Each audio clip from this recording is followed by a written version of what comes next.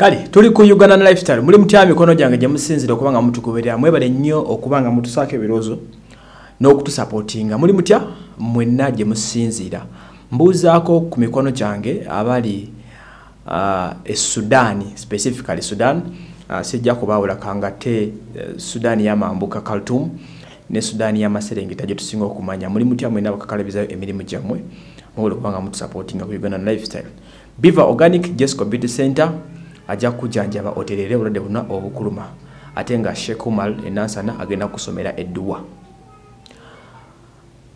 Kakati uh, edikenzo edrisa musuuza omukulu oyo ayongedde okulaga amaanyi mu music industry ya uganda ono uh, nayongera tukakasa nti ddala ye muyimbi asinga okubeera international ye muyimbi asinga okubeera decorated ye muyimbi asinga zi award enyingi naddala ez'amaanyi mu industry ya wano. Ono omukulu wadde nga bino byonna bibadde nga weebiri ebyokuba nga kenzo kenzo kino kenzo kiri ebikwatagana ne muzaata ebikwatagana embaga ya uh, okukyala kwa mukyala we.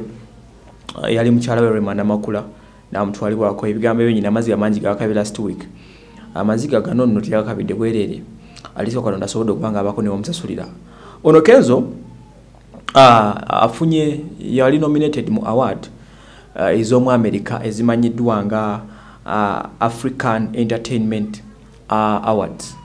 Ezisangibwa mu america zino gyezisinzirira bano ja yali nominated n'abayimbi mwenda bweddu okuva ku lukalo africa. Omwali davido mr flavor diamond platinum tiwa savage yami aladi uh, waliwo no gwe bayita shata wale saako ne stone boy abavigana.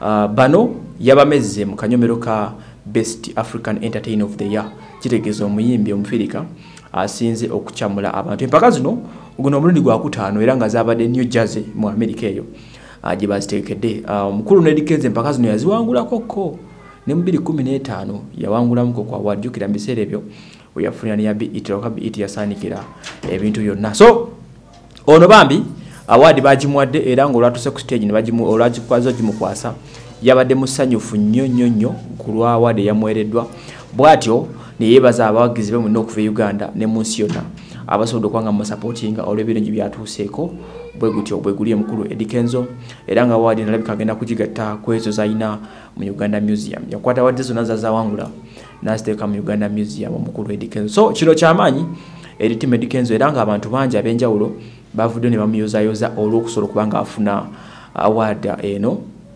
n'okutuuka ku kkula lino. Kibadde kyakabi nnyo omukulu edrisa musuzi edikenzo we are expecting edikenzo in kampala here on tuesday. Bwe gutyo bwe guli. So katumulindiridde mu mbeera yonna eneebaawo katulinde ekinajja nze waswa emmanuel